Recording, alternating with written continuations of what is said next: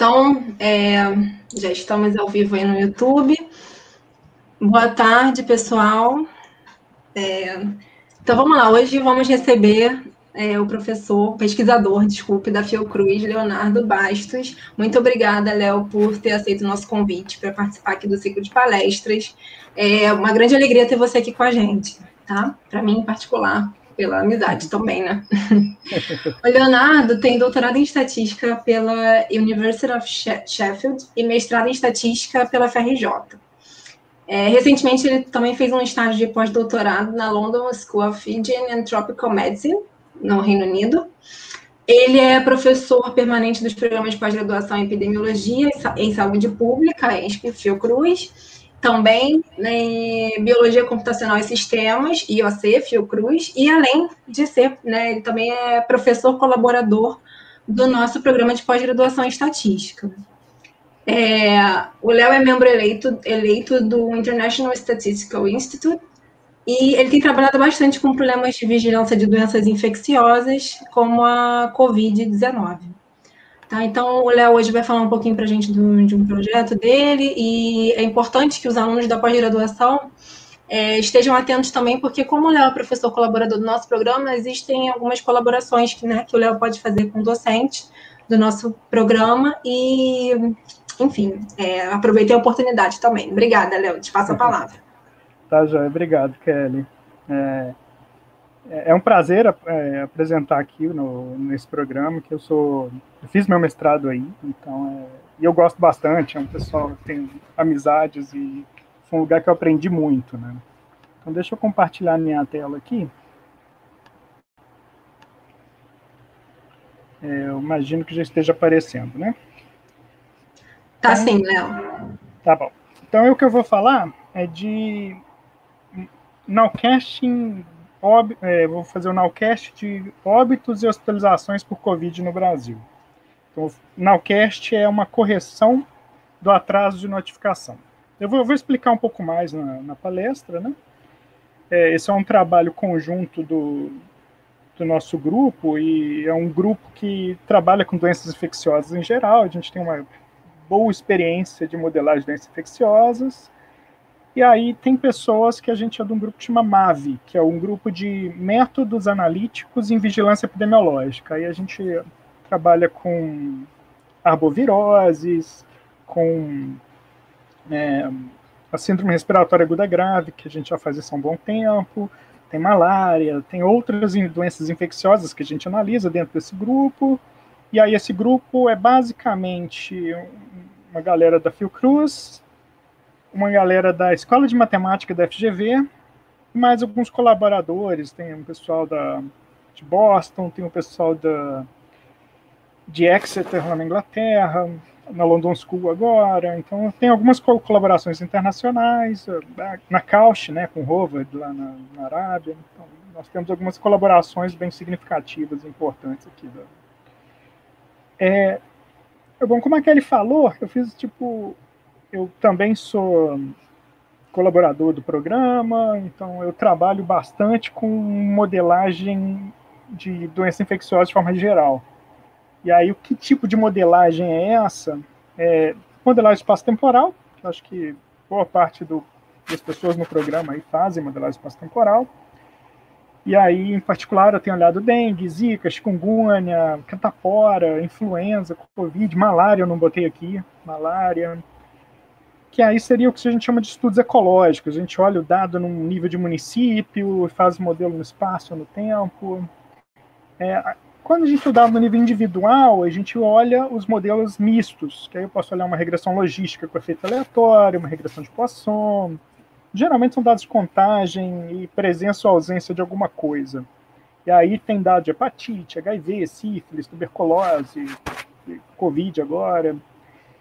E o que eu faço, que é o mais interessante, né, que é pelo menos para mim, né, que eu sou estatística, é desenvolver métodos estatísticos no contexto de vigilância.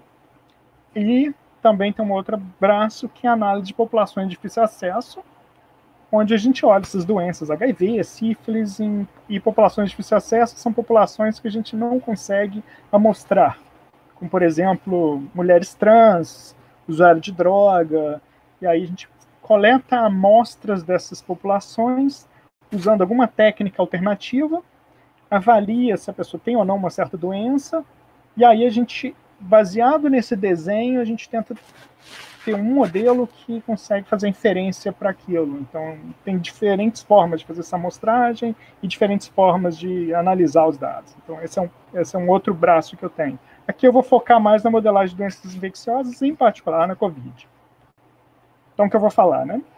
Vou falar da vigilância de Strag, que é a síndrome respiratória aguda grave, em inglês é SARI, eu explico daqui a pouco por quê. Vou falar essa diferença do SARI versus COVID, né? Olhar esses dois casos. É, vou falar um pouquinho do Infogripe, que é o sistema que a gente tem. E vou falar do problema em si, que é o problema do atraso de notificação e de laboratório. Quando a gente olha para a COVID, tem um atraso de, tem esse atraso, além do atraso de notificação, tem um atraso do laboratório é, como a gente corrige esse atraso, que é o que a gente chama de nowcast, ou seja, uma previsão para o agora. E aí, o que, que eu preciso, como é o dado, quais são as soluções que a gente tem para isso. E eu vou falar das hospitalizações e óbitos por Covid no Brasil e no Rio, porque, porque a gente está no Rio. Não necessariamente a gente está no Rio, porque pode ter alguém vendo no YouTube de qualquer outro lugar, mas é, programa é um programa daqui. Então, o que é a síndrome respiratória aguda grave? Primeiro, por que é SARS é SARS e não SARS? né? Que é a síndrome respiratória aguda grave. O nome do vírus, né, aquele SARS-CoV, é justamente por conta dessa, dessa síndrome, que é a síndrome respiratória aguda grave. O nome não é SARS, porque SARS é o nome da infecção do primeiro coronavírus. A gente está no SARS-CoV-2, que causa a doença COVID. O SARS-CoV, ou SARS-CoV-1, ele causa doença que chama SARS. Então, para não confundir, a gente usa o SARI, que é, é Severe Acute Respiratory Illness, mas whatever, do tipo é SRAG, S-A-S-R-A-G. Ou tem gente que chama de SRAG ou S-RAG, eu falo de SRAG, então eu vou falar aqui SRAG. É o S-R-A-G, que é o SARI. O que, que é isso? É, um, é basicamente um conjunto de sintomas é, é uma síndrome. Síndrome quer dizer um conjunto de sintomas. Que sintomas? A pessoa tem que ter um desses três itens aqui: febre alta. Bom, basta ter febre, não precisa ser alto, basta febre. Tem que ter ou tosse ou dor de garganta, ou dificuldade de respirar, dispneia, que é, que é também é um tipo de dificuldade de respirar, ou a saturação abaixo de 95%. Se a saturação estiver abaixo de 95%, um desses dois, um desses dois, e a pessoa estiver hospitalizada, ela tem que ser notificada como um caso de SRAG. É compulsória a notificação. Aqui eu botei no Brasil, desde 2009 ela é, ela é obrigatória notificar. Eu botei um asterisco aqui porque é o seguinte: em 2009, H1N1, quando isso começou, era obrigatório. Aí ela deixou de ser obrigatória em 2014, 2013, sei lá, e passou a ser só obrigatório para os casos de UTI ou coisa assim. Mas um monte de lugar continuou notificando, não parou não. Até que em 2019 voltou a ser, voltou a ser obrigatório. Então, tem um período que não é obrigatório, mas a maioria dos lugares notificavam. Então, e o que, que acontece quando tem essa notificação? E por que, que a gente é importante essa notificação? Primeiro, você está notificando uma pessoa com essa síndrome. Isso já é um indicador de que, opa, alguma coisa está acontecendo. E além disso, bom, você vai preencher, é, é preenchida uma ficha enorme lá, com um monte de variável, e além disso, é coletada uma amostra, uma amostra nasofaringe, eu acho, bota lá uma amostra, enfia um cotonete no nariz da pessoa, é o mesmo dúvida, e faz um teste para um conjunto de vírus, que é um painel de vírus, onde o SARS-CoV passou a fazer parte desse painel em março do ano passado. Então, hoje, basicamente, se testa para COVID, se testa para o SARS-CoV, aí se der positivo é COVID porque é uma pessoa hospitalizada. Se deu positivo, Covid. Se deu negativo, aí testa outras coisas. É isso que tem sido feito, salvo algum outro lugar que está testando o painel todo, mas geralmente testa só Covid, porque é o que está dominando, né? E, e, a vigilância pela síndrome respiratória aguda grave ela é muito útil porque ela serve para você, é, ela serve como um alerta antecipado de uma epidemia. O foco era influenza, mas ela serve para você entender se está acontecendo alguma coisa com a influenza ou outros vírus respiratórios. É, são testados vários outros, e aí agora entrou, entrou o SARS-CoV-2. Então, o que tem de diferença do, da SAG e da COVID? Isso é basicamente no Brasil, né? A SARI, a notificação por SRAG, é quando tem uma hospitalização ou morte com aqueles sintomas, e aí é testado se. Aí, quando a gente tem um caso de SARI, é feito um teste e vê se, olha, pode ser influenza, pode ser outros vírus, tem lá mais de 10 outros vírus. Pode ser algo desconhecido, que foi notificado como SARI e não deu, nega, e não deu positivo para nada. Ou pode ser Covid. Um caso de Covid, ele precisa de confirmação de laboratório. E aí a gente tem os casos não hospitalizados, que são os casos sintomáticos, eles não são Covid, eles são infecções por SARS-CoV-2, ainda não é Covid. Covid é uma doença que exige sintomas. Aí a gente tem os casos leves, os casos leves e médios, e a gente tem caso grave que ainda não foi hospitalizado. Esse caso é um caso de Covid, mas ele ainda não entra como ele ainda não entrou com uma notificação de SARI. Quando ele é hospitalizado, ele é notificado e a gente tem essa interseção aqui, que é o que eu chamo de SARI COVID é o caso de Covid notificado. Então, o que, que a gente tem? Quando a gente olha aqui, isso aqui é um dado até abril desse ano. É, a gente tem as hospitalizações por STRAG e, as, e dessas, as, quantas foram confirmadas por Covid. A gente tem esses números. A, a curva é basicamente a mesma, porque é, é a Covid que tem dominado, né? E é uma proporção grande dos casos, esses aqui são os casos positivos. Essa diferença são os casos que deram negativo, deram outra coisa, ou, não tem, ou ainda não teve resposta, ainda não chegou o resultado. Então, essa diferença aqui, ela tem, um, tem algumas coisas que podem ser. Tem muito caso negativo, que é o caso que a amostra foi mal coletada, a amostra foi coletada fora da janela de positividade, então, se uma pessoa chega no hospital, ela já está muito mal. Ela teve Covid há três semanas atrás e agora ela só está lidando com os danos da Covid. Quando você testa aquela pessoa, vai dar negativo. Mas ela teve a doença, ela teve o vírus e ela está no hospital por causa do vírus. Ela vai entrar como negativo, então ela vai, vai entrar aqui nessa diferença aqui, mas é Covid, sabe? Então, a gente hoje, basicamente, a gente pode falar que um SARI é Covid. Tá? Mas eu estou mostrando os dois. E para óbito, mesma coisa, só que a proporção já é um pouco maior, né? Porque tem se dado a prioridade no teste do óbito. Quando, mais recentemente, basicamente, o SARI é Covid, tá vendo? A gente vê aqui no final aqui da curva, as curvas quase se tocam. É, e aí a gente tem, bom, esse dado, ele é coletado, ele vai para um sistema, esse sistema chama CIVEP, o CIVEP GRIP, que chama CIVEP GRIP, na verdade, que é um sistema que ele foi criado por conta da, da, da, da pandemia de influenza lá atrás, em 2009, 10 anos atrás, né? 2010, 2019, 11 anos, 12 anos atrás. E em 2014, alguma coisa assim, em parceria com o Ministério da Saúde, a gente criou o um sistema que chama Infogrip, que é um sistema que monitora a síndrome respiratória aguda grave no Brasil. Então, com esse sistema, a gente recebe os dados semanalmente do Ministério e faz um conjunto grande de análises para ver se o que está acontecendo. Então, a gente, sei lá, em 2016 a gente viu, teve uma teve epidemia de H1N1 em São Paulo, 2019 teve uma epidemia de vírus sincicial respiratório em crianças, então a gente consegue observar coisas dessa, de, de, disso usando esse banco e identificar pandemia, epidemias que aconteceram antes, porque de uma forma oportuna, porque a gente vê um aumento de hospitalização, mas até o resultado de laboratório sair, até aquilo ser notificado, a gente consegue antecipar isso e falar, olha, está tendo uma epidemia aí.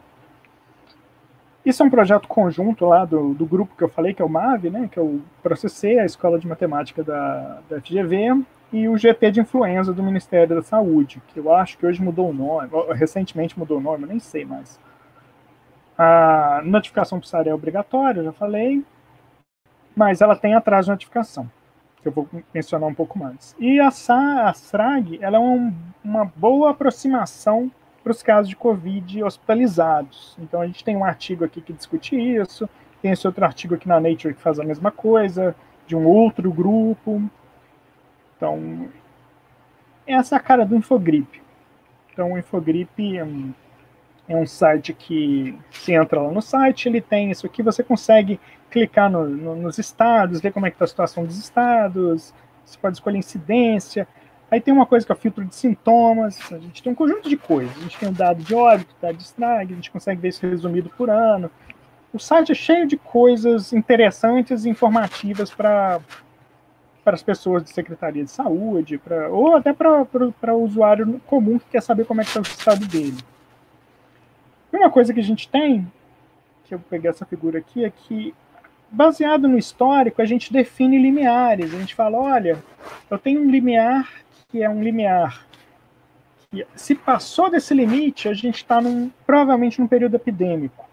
Se chama limiares epidêmicos, né? A gente aplica um método ali e a gente, é, a gente tem esse limiar no tempo e tem esse limiar que seria algo constante. Se você olha, repara nessa figura da, da direita, ela tem um esquema de cores ali. Então, se você está acima de um certo valor, a figura fica com fundo vermelho. Aí você tem o verde, amarelo, laranja, vermelho, a gente tem esses limiares aqui. E quando a Covid chegou, ela dominou tudo. Então ela está vermelha, até hoje está vermelho, nunca caiu mais, nunca mais caiu para um patamar que a gente pode considerar razoável, está super alto, olhando para o histórico de Stride. E aí isso a gente pode usar a regressão quantílica, tem um conjunto de métodos que a gente aplica. Aqui a gente usa um método chamado MAME, que é o Moving Epidemic Method, que ele define esses períodos todos. Para o Rio, né, mesma coisa. Isso aqui foi o...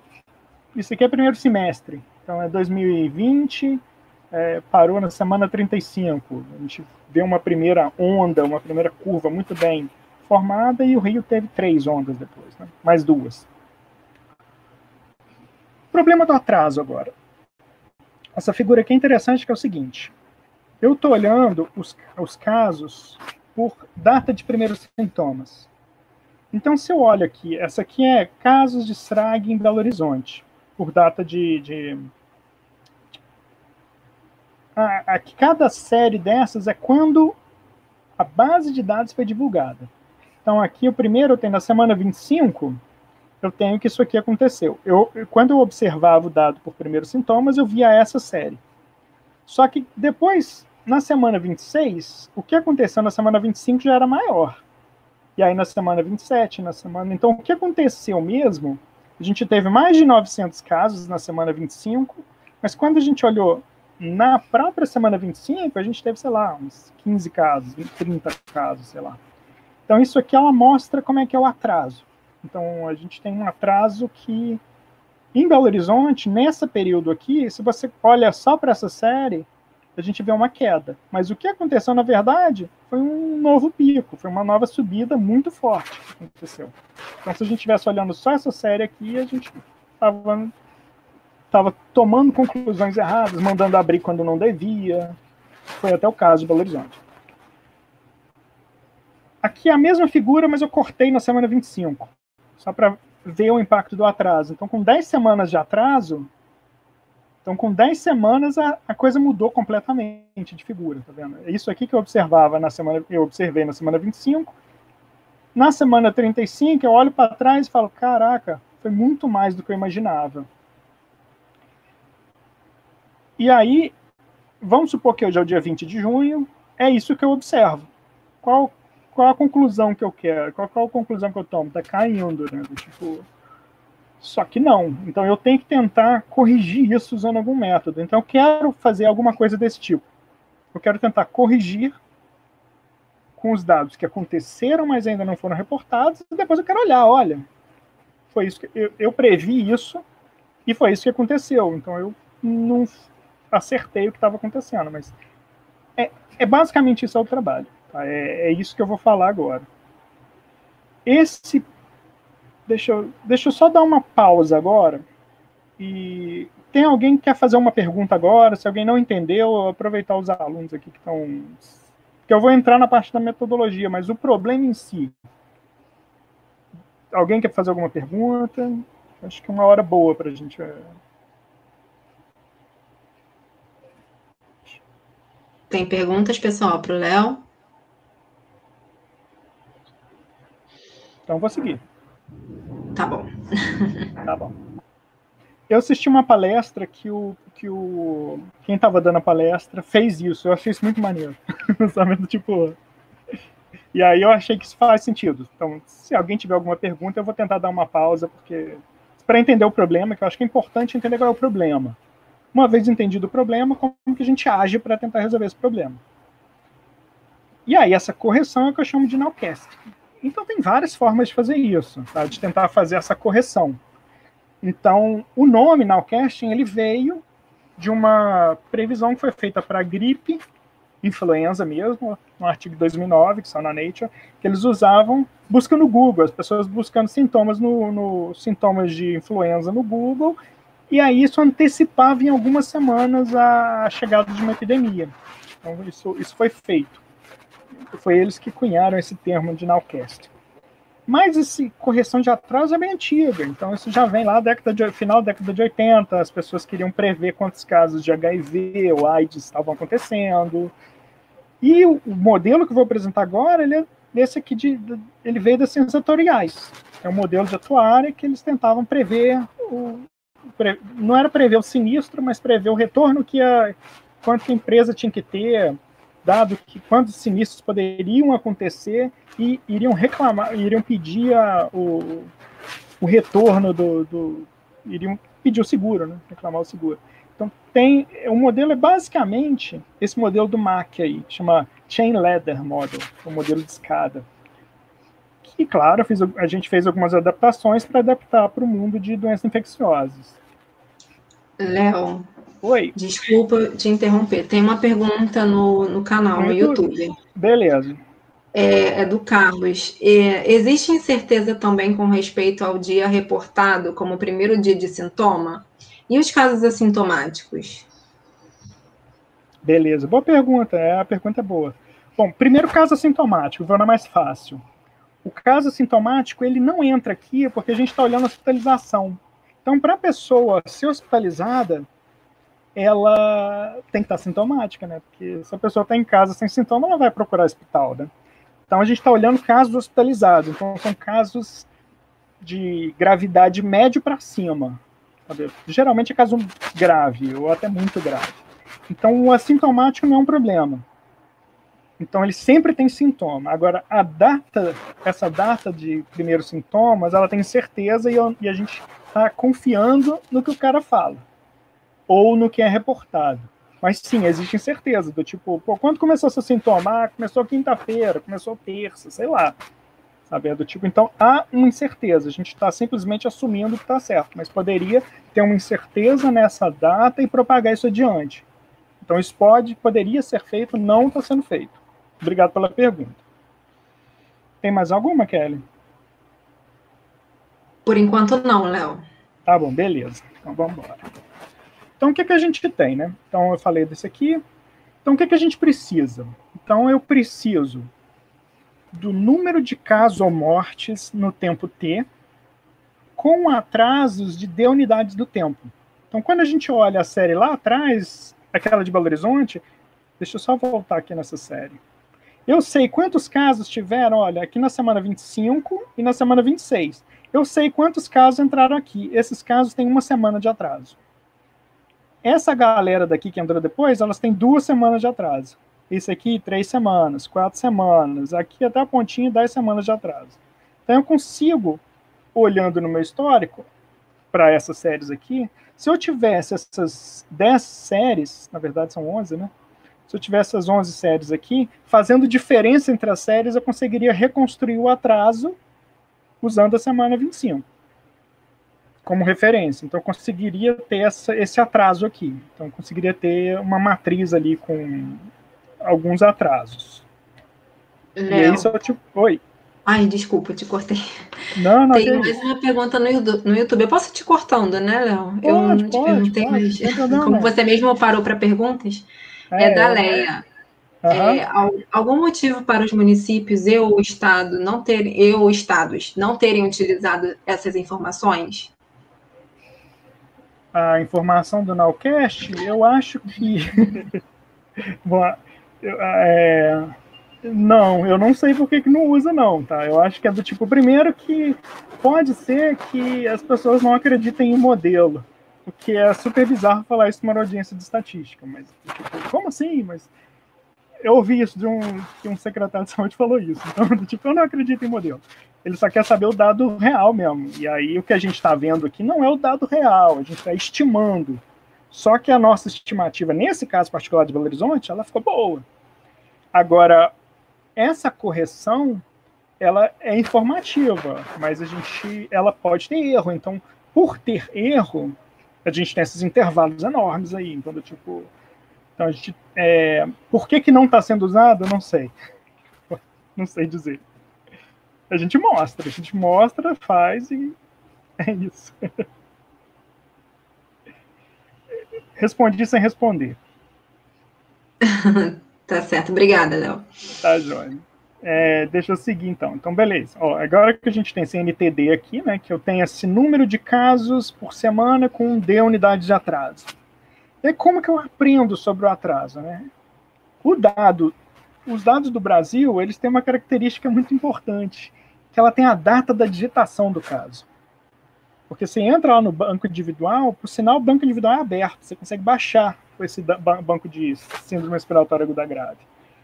É, você consegue baixar isso, então você vai lá, tem uma coluna que é a data de primeiros sintomas e tem a data de digitação. Quando aquele caso foi digitado. Essa diferença é o atraso. Então, isso, beleza. Então, se eu tenho dado nível de indivíduo, o dado nível de indivíduo é aberto para o Brasil, então eu consigo ter esse atraso.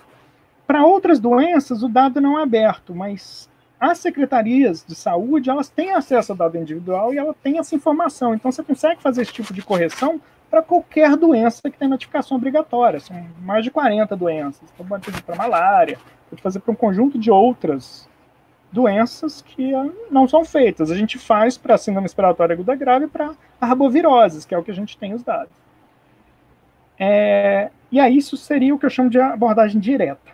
Eu posso ter abordagem indireta, que é assim, olha, a secretaria ela divulga só o dado agregado, ela divulga aquela série toda, ela divulga a série ela faz isso toda semana, por exemplo. Rio de Janeiro, sei lá, vamos lá, toda semana ele divulga a série. E aí depois, na semana seguinte, divulga a série atualizada.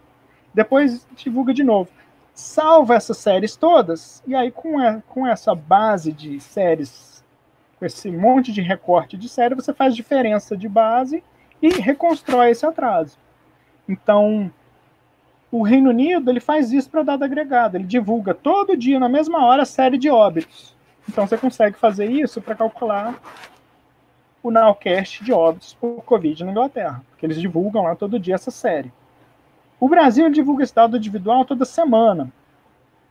E aí, com, como tem toda semana, eu consigo fazer um nowcasting para óbitos e para Covid, porque eu não consigo fazer isso no método direto, porque tem um detalhe no método direto, tem uma coluna que é a data da digitação do caso, mas eu não sei quando o caso vai ser atualizado, porque uma pessoa é hospitalizada. Aí, aquela pessoa hospitalizada, eu sei quando ela entrou, tem lá a digitação do caso dela. Mas quando vem o resultado do PCR, eu vou lá, entro, o pessoal da Secretaria de Saúde atualiza o campo, mas não tem a data de atualização. E aí, a pessoa vai a óbito, não tem a data. Tem a data do óbito, mas não tem quando aquele óbito foi digitado. Então eu não consigo fazer isso. Eu consigo fazer só usando o método indireto, fazendo essas diferenças de série.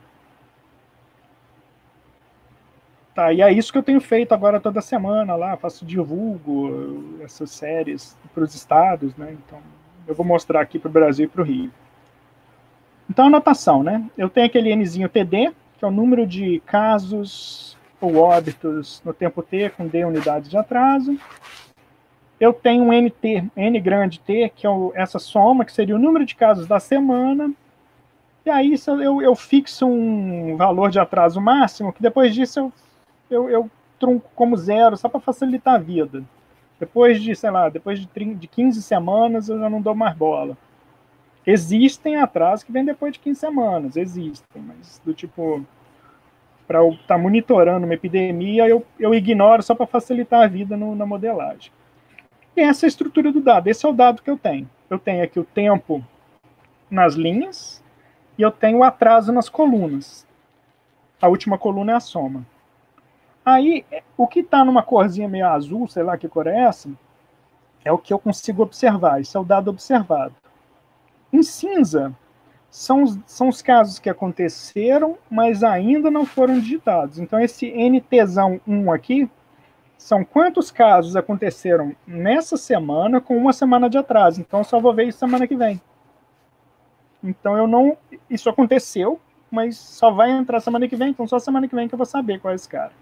E aí, com duas semanas e tal, até com 10 semanas. Então, tem um conjunto aqui que é observado, mas não. É, não tá, ele ocorreu, mas não está não tá no banco.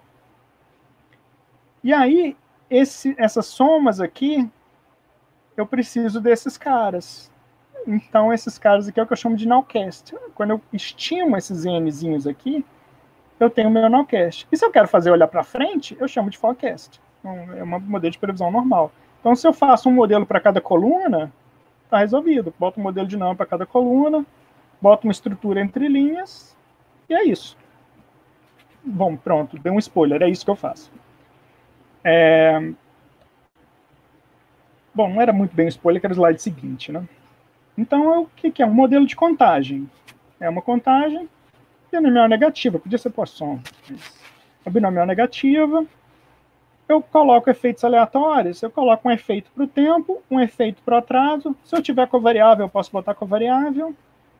Coloco esses carinhas aqui. Então, esse alfa de t, que seria um efeito temporal, eu trato ele como um modelo dinâmico mesmo. Aqui é um, nesse caso, eu, eu, eu coloco um modelo de primeira ordem, um modelo de segunda ordem, para ser aleatório.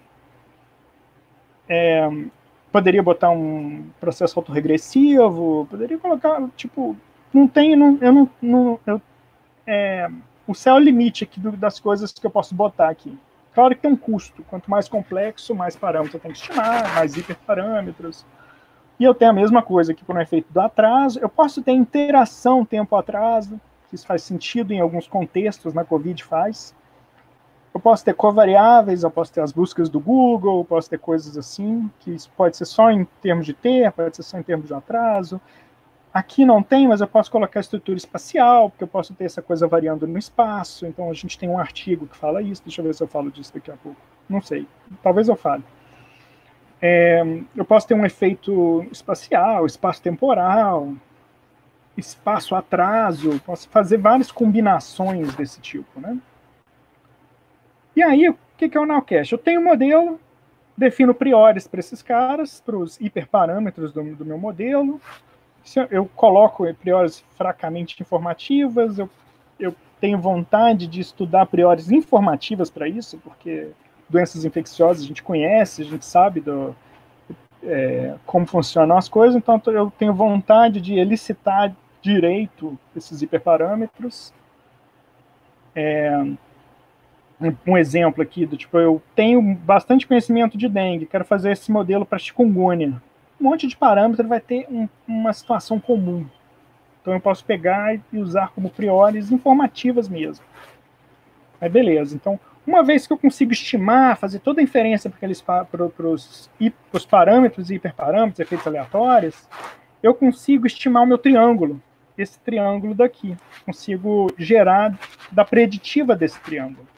E uma vez que eu gero desse. Bom, não estou falando gerar. Eu consigo encontrar a distribuição preditiva desse triângulo.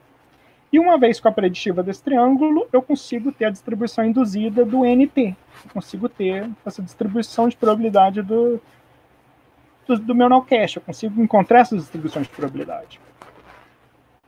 Dentro de um, de um contexto Bayesiano, isso é muito mole de ser feito, porque a inferência toda é, eu, geralmente a gente consegue ter amostras dos meus parâmetros e parâmetros, efeitos aleatórios, eu consigo ter amostras dessa posteriori. Com, se eu não tiver, eu gero amostras disso. Gerando amostras disso, eu gero amostras do meu triângulo, e aí eu calculo esse NT, e aí eu passo, tenho amostras desses NT, e aí pronto, eu tenho tudo que eu preciso. Eu tenho amostras dos NT, consigo ter intervalos. Isso aqui a gente fez num artigo no Statistics in Medicine, onde a gente faz assim, esse, apresenta esse processo, esse passo a passo, e tem estrutura espacial, tem um monte de coisa aqui nesse modelo. É, e aí, no ponto de vista, dentro do MCMC, isso é mole, já tá, sai de graça, sabe? Do tipo, é relativamente simples, tá? Relativamente entre aspas. E aí você consegue fazer isso dentro, dentro de um ilatado da vida, um OpenBugs, Jags, Stan, Nimble.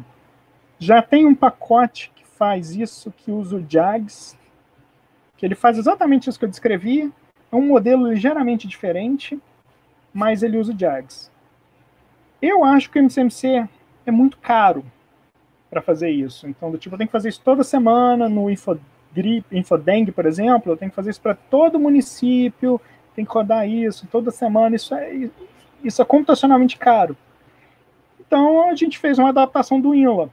E aí a gente tem o INLA, que esse modelo que eu descrevi, ele se encaixa bonito no INLA. Ele é um modelo Gaussian Latent Model, né, que é um modelo gaussiano latente, então ele funciona, encaixa bonitinho, eu gero, eu rodo o INLA, e aí eu consigo, da saída do INLA, gerar uma amostra, a amostra da saída do INLA. A saída do INLA é uma aproximação da minha posteriori, então eu tenho amostras da aproximação da minha posteriori. Para mim isso é suficiente. Então eu faço isso, tenho essas amostras aproximadas, calculo meus triângulos, sigo a vida e fico feliz. Gero essas coisas em três segundos.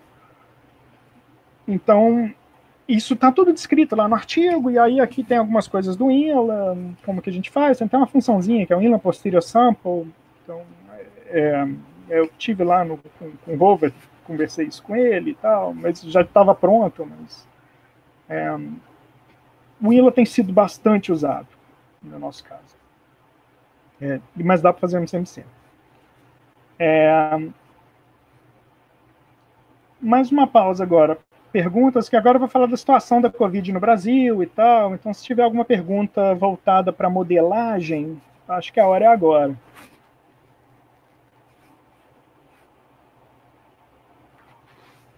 Pessoal, alguma pergunta aí para o Léo? Dúvida, curiosidade?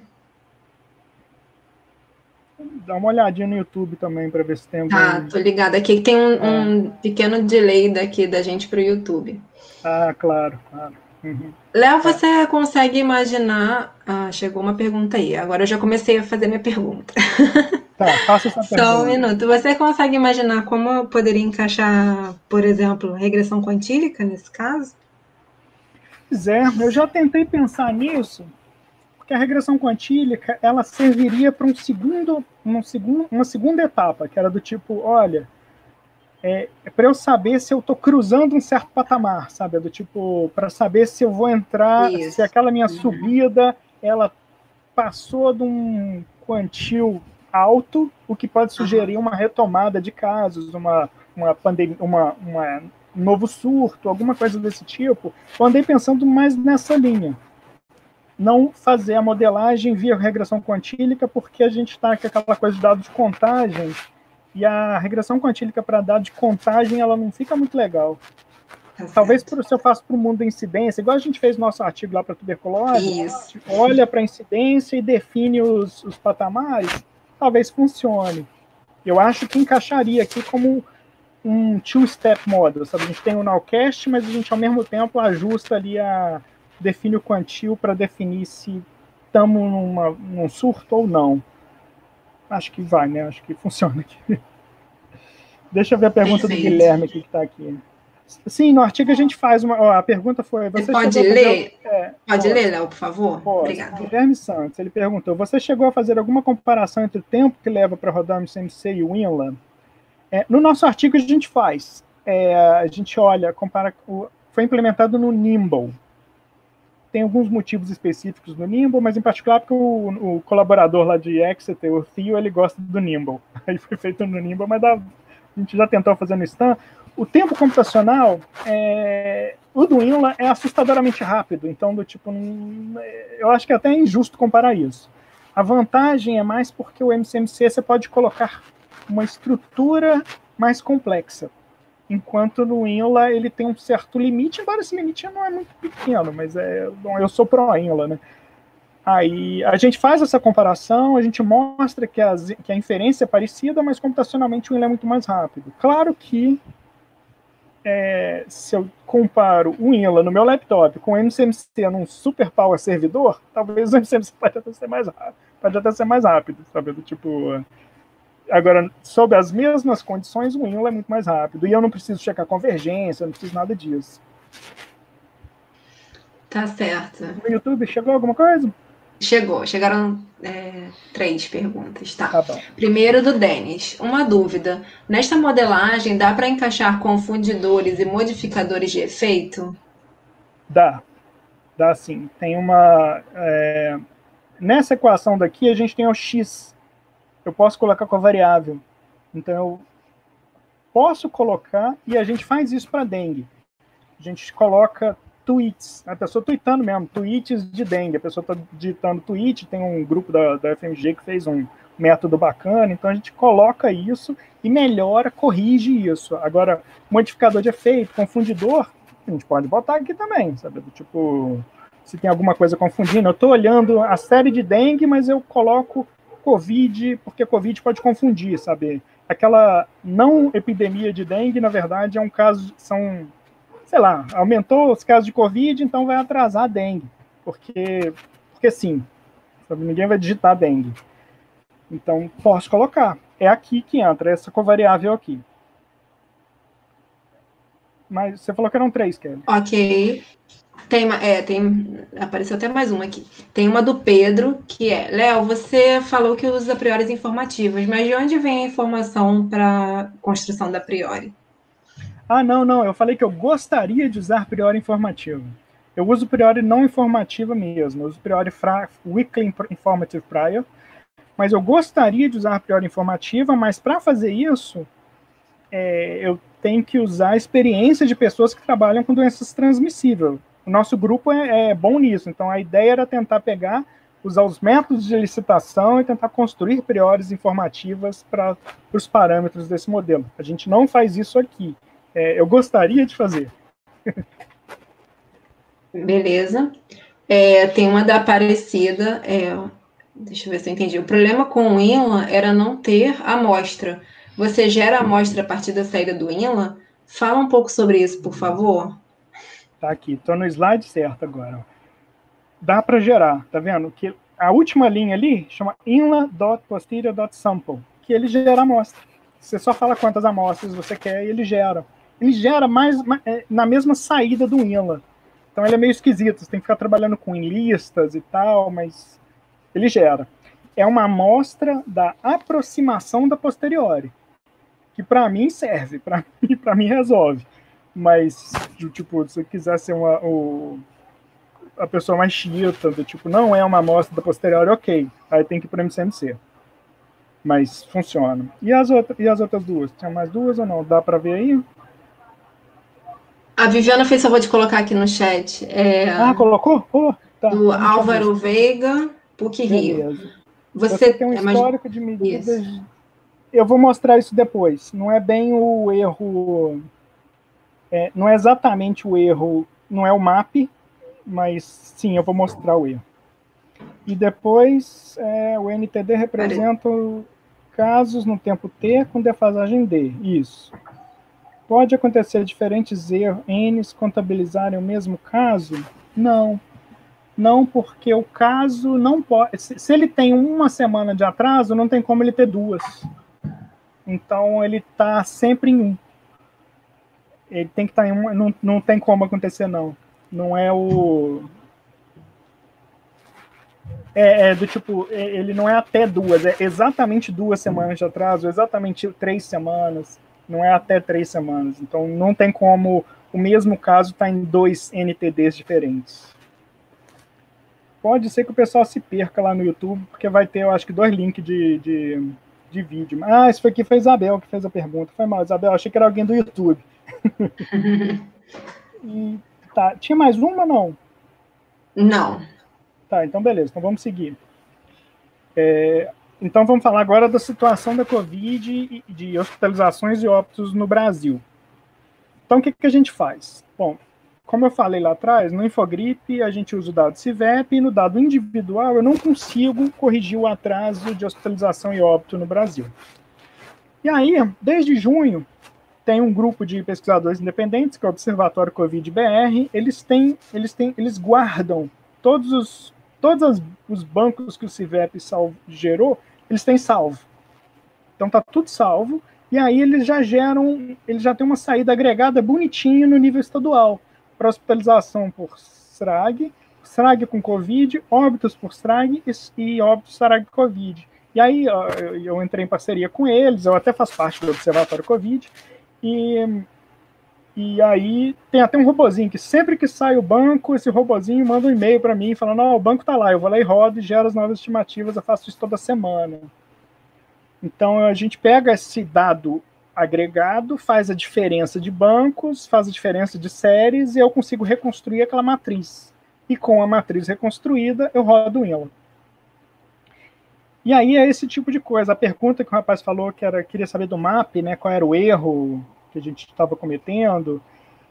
Isso aqui seria do tipo, olha, essas são as séries, então eu, eu peguei alguns exemplos, mas eu posso calcular isso para todo o banco que a gente tem. Então esse amarelinho aqui eu tenho o que, que aconteceu, o que, que eu estimei. O verde, o azul, laranja. Esse azul e o laranja aqui aconteceu alguma doideira. O laranja, por exemplo, ele não pegou essa nova subida. Ele não pegou a P1, a chegada da P1. Aqui possivelmente teve alguma coisa também de. No caso foi a P2 que aconteceu no Rio. Quando a gente olha para óbito, que é a figura da, dessa figura de cá, a coisa foi até razoável. Tá vendo? Tipo, e aqui é o que a gente está vendo em abril ainda. Então eu consigo ter esse tipo de coisa e aí eu consigo calcular o, o MAP, MSR, consigo calcular isso, eu teria que só definir uma estimativa pontual. Então eu poderia pegar a diferença desses pontilhados. Eu tenho a distribuição inteira, então eu posso calcular alguma medida que leve em conta a distribuição. Não fiz ainda, mas eu estou escrevendo um artigo, eu estou fazendo isso agora, para essas coisas. Então, estou comparando, calculando o erro e tal, para olhar na situação do Brasil. Agora aqui, ah, uma vez que eu tenho essas estimativas, eu consigo estimar o total também. Então, do tipo isso aqui, ó, hospitalizações no Brasil. Se eu pego só as hospitalizações por STRAG, isso aqui é incidência, aqui é a situação atual, aqui a, de fato a gente tem visto uma queda, mas essa queda está parecendo estabilizar agora num certo patamar, que é muito alto, é mais alto do que a primeira onda, eu não gosto de chamar onda não, mas é mais alto do que o pior momento de 2020, que a gente está estabilizando, isso não é legal. Certeza é grande pra caraca, bem grande a incerteza, mas a gente consegue ver que tem alguma coisa. E aí a gente olha, olha, quando eu faço essa soma, eu pego a soma do, do, do preto e aqui essa parte vermelha aqui, eu, a gente observou 2 mil, 2 milhões de hospitalizações por STRAG no Brasil. 1 milhão e 300 hospitalizações por STRAG com Covid. Isso é muito alto. E aí tem a incerteza disso, consigo calcular. Óbitos, a gente vê no jornal que a gente tem essa medida, isso aqui está esse dado para a semana passada. A semana passada eu estimava 426 mil óbitos, indo de 416 a 440 mil. Então isso aqui já era, isso aqui sai de graça nessa análise. Se eu olho para a STRAG, está no 530 mil. Se a gente pensa que boa parte de STRAG é Covid, provavelmente a gente está acima de 500 mil, mil, óbitos por Covid no Brasil, o que é um número assustador, meio milhão de óbitos. É, esse, essa figura é impressionante, né? Tipo, aqui é o caso do Rio. Como eu falei, quando gente, as pessoas gostam de falar de terceira onda, segunda onda, do tipo, é difícil falar de onda, porque primeiro não tem uma definição. E se a gente olha para o dado do Rio, a gente tinha que falar de quarta onda, né? porque a gente teve essa primeira, essa primeira subida e descida aqui que aconteceu no meio do ano passado. Em outubro desse ano teve mais uma subida que caiu agora, caiu no em janeiro e tal. Essa, essa segunda que teve aqui, de hospitalizações, ela é atribuída a P2, a variante P2. E depois uma nova subida, que é a P1, que está aqui, a gente está estabilizado num patamar bem alto. Não é pior que o, que o pior momento, mas é, é ruim está bem alto. Se a gente olha para óbitos, óbito está pior que, primeiro que, que, o momento anterior. E a gente está estimando aqui 50 mil óbitos, mais de 50 mil óbitos por Covid só no estado do Rio. 193 mil hospitalizações. É bastante coisa, né? A gente está numa situação muito grave e o estado do Rio está ruim ainda. As pessoas, não está no momento de relaxar. E quando a gente olha para hospitalização, a hospitalização ela pode ser vista como uma espécie de é, se a gente olha, a gente pensa que a hospitalização, o número de casos é proporcional, o número de casos é proporcional às hospitalizações. Então, se a gente vê esse, a gente pode pensar que esse movimento aqui também é a dinâmica dos casos. A gente pensa, olha, x% dos casos são hospitalizados. E se a gente assume que essa coisa é constante ao longo do tempo, pode não ser, dependendo de variantes, mas a gente pode usar essa figura daqui como uma, uma proxy para a dinâmica da epidemia. Então, a gente está vendo um número alto de hospitalizações porque a gente está com um número alto de casos. E tem um atraso, claro, do tipo, para o caso virar uma hospitalização, tem um certo tempo ali. E para essa hospitalização e a óbito, então quando a gente começa a cair os, os óbitos, os, o, desculpa, cair as hospitalizações, o óbito ainda não caiu, o óbito vai cair porque ele acompanha, essas coisas acompanham, mas elas têm um certo atraso aqui. Esse, esse dado é o da semana passada. O de, da semana atual vai sair hoje ainda. Saiu às sete da noite. Então, é, bom, é isso. De, tipo, no ponto de vista de, de, Esse aqui é o meu penúltimo slide. Aqui a gente tem uma proposta de uma abordagem rápida para corrigir os atrasos. Isso pode se aplicar em diversos sistemas de vigilância, desde que tenha dado com esse tipo de estrutura. É um modelo robusto, onde eu botei um asterisco porque eu tenho que provar que essa coisa é robusta, né? Calcular os erros, calcular essas coisas, mas ele é útil para antecipar uma, um surto, uma mudança importante nas curvas. Então a gente quer usar esse modelo para isso. Eu quero, olha, está mudando a curva do rio, então liga um alerta, está mudando, que é o caso. Então a gente tem algumas extensões que a gente está pensando, a gente está fazendo esse nowcast por, por faixa etária, então seria colocar lá a estrutura etária naquele modelo, pensar em pequenas áreas, porque a gente vai ter muito zero, covariável, alguma coisa para antecipar variante de informação. Esse é o site aqui que tem o dado aberto. Se quem quiser baixar o dado, o dado é muito grande, porque são muitos, a gente viu lá, 2 milhões de hospitalizações, então tem 2 milho, milhões de linhas e um monte de coluna. Então é um dado pesado para trabalhar num laptop simples, mas funciona, dá para rodar. É... é, eu acho que é isso aqui. Então essa aqui é uma fotozinha do observatório, um grupo de colaboradores, né? É... Porque esse projeto que faz diferença de bancos é uma colaboração do MAV, que é o meu grupo, com o observatório, que é a galera do que é um grupo de pesquisadores independentes que estão atuando lá na Covid desde o começo, desde quando começou a Covid. Aí são, são várias instituições, é, é, um grupo legal. Então acho que agora estou aberto aqui para um bate-papo. Perfeito. Muito obrigada, Léo, pela palestra, muito boa e com várias possibilidades aí, né, de extensões que tem uma aplicação bem relevante, bem bacana. Temos perguntas no, no YouTube. É, pergunta do Hindenberg. Oi, a, palestra, a palestra não está aparecendo, não? Estou vendo aqui no, no chat. Ou tá. alguém que do... Ah, então tá bom, então beleza. não, tá aparecendo sim, tá? Fica tranquilo. Achei que eu falei igual um bobo. Aqui. Não. é a pergunta do Hindenberg. Léo, esses dados são os mesmos do é, SIH, SUS? Outra não. pergunta. Não. Não, é outro banco. SH é de internação. Esse aqui é bem específico para. É, o SH é um dado de internação, mas é um dado para o hospital que fala quando a pessoa é internada ou não. E não importa a causa. Enquanto o CIVEP é o dado de síndrome respiratória aguda grave. É um outro banco, é uma outra base separada que é voltada para vigilância da influenza, agora da Covid, né? E aí ele tem, tem, outra pergunta dele mesmo, é acerca das hospitalizações que evoluem para casos de UTI, a aplicação do modelo é direta? É direta, é direta. A gente não não fez caso de UTI, não sei por que não. Acho que é porque está tudo pronto já para hospitalização normal. mas eu não fiz para análise por UTI. Dá para fazer. É, a Aparecida Donizete, que agradeceu a resposta, ela viu depois a sua resposta. Desculpa, pessoal, a gente teve um probleminha de conexão, tá? É, temos mais perguntas aí, pessoal?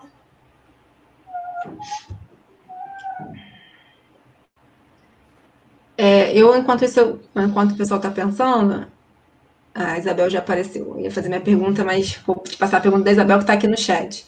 Nesses Beleza. casos, as hospitalizações e os óbitos foram modelados separadamente?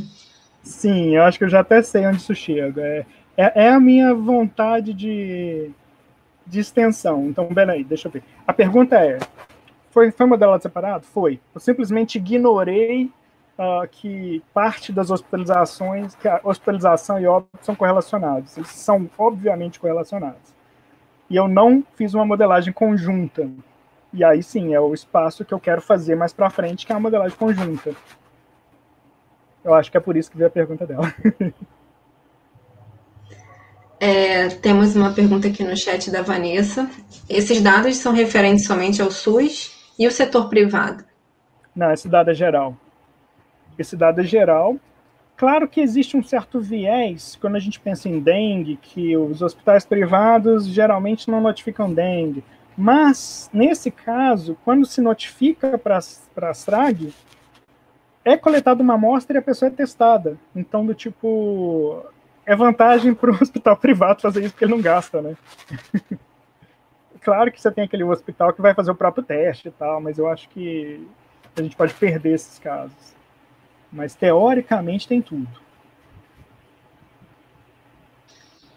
Aí a Isabel veio com mais uma pergunta: se há informação na base sobre os óbitos que eram internações? Sim, sim. É, é uma pergunta legal, porque teoricamente é, é, você pode ter óbito que não foi hospitalizado. Então, se a gente. É, mas não todo óbito foi hospitalizado, mas o óbito ele pode ser notificado. Então a gente tem aqui tem essa informação, se ele foi hospitalizado e se foi a óbito. Então tem lá tudo tem, tem tudo bonitinho no banco. É, ela agradeceu. É, no YouTube tem a Bia, Ana Beatriz da UF. Parabéns, Léo, pelo trabalho, muito legal. Ah, legal, Bia. Temos mais perguntas aqui para o Léo, pessoal? do Guilherme. Léo, você estudou algum modelo para correção de subnotificação? O problema é muito mais complexo? Não estudei e é o Guilherme da FMG, né? Eu acho que devia, cara. Eu acho que não, tem espaço. Guilherme, é o Guilherme não, da UFRJ. Ah, desculpa. da nossa é porque tem, por que eu falei isso? Porque tem um Guilherme da FMG que trabalha com modelo de subnotificação. Então, desculpa meu, meu, meu erro aqui, mas é, existem modelos de subnotificação que eles são bem mais complexos, porque você precisa de, você precisa ter uma variável proxy para te informar alguma coisa de notificação. Por exemplo, vamos supor que a, o óbito por Covid ele é subnotificado nos lugares mais pobres. Então, se você tiver um indicador de pobreza, você vai ter alguma medida para você estimar essa subnotificação. Sabe por quê? O óbito por Covid ele é subnotificado no lugar mais pobre porque não é feito teste. Aí, sei lá, sabe? Do tipo, a pessoa morre, ela é notificada lá em algum lugar, mas não foi feito teste nela. E ela nem entrou no sistema. Então, pode ter alguma coisa assim. Aí, o, né, o difícil é você pensar quais seriam as variáveis que podem ajudar a explicar essa subnotificação. Você não faz isso do nada, sabe? É, mas é possível. Então, sim, o problema é muito mais complexo. É, Léo, você podia falar, um... ele agradeceu. Você podia falar um pouquinho daquela parte das pequenas áreas? O que, que seria, o que, que, seriam as pequenas áreas nesse caso? Tá, esse pequenas áreas é um pouquinho diferente do seu pequenas áreas. O meu pequenas áreas é diferente, uma, é realmente uma área pequena, onde a gente vai ter excesso de zero, por exemplo, sabe? Do tipo, sei lá, eu pego um município pequeno no interior do Rio onde três casos de Covid é uma epidemia sinistra. Só que a maioria do tempo eu vou ter zero casos. Então, quando eu botar isso no modelo, eu tenho que ser um modelo com excesso de zeros. E o modelo vai apanhar. Então, do tipo. Ou se a gente está olhando arbovirose. Aí eu estou olhando arbovirose, eu estou numa região lá de Itatiaia, no, que é uma região mais alta no Rio. Eu imagino que não tenha muito caso de dengue ali.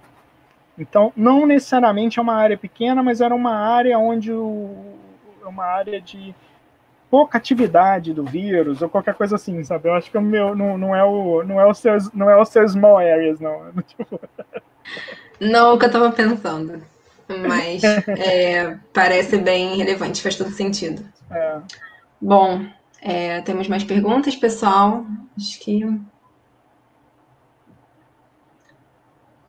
Bom, então, é, Léo, gostaria de te agradecer novamente por ter estado aqui com a gente.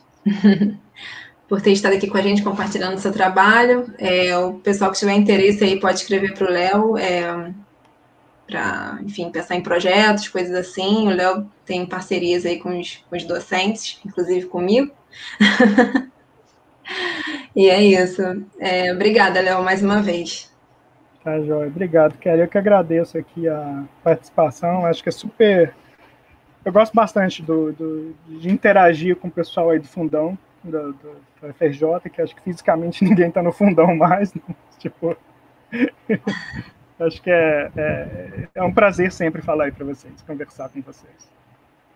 Ótimo, muito obrigada. Tem uns agradecimentos aí no chat também para você dar uma olhada. Agora, agora eu consigo ver. Valeu. Então, pessoal, até a próxima. Então, tchau, um abraço para todos e se cuidem. Tchau, tchau.